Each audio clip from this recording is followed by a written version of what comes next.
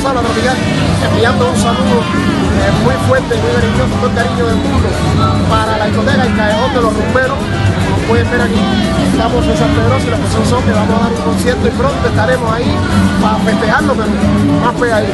Porque mira, Pupi tiene su caché. Grábate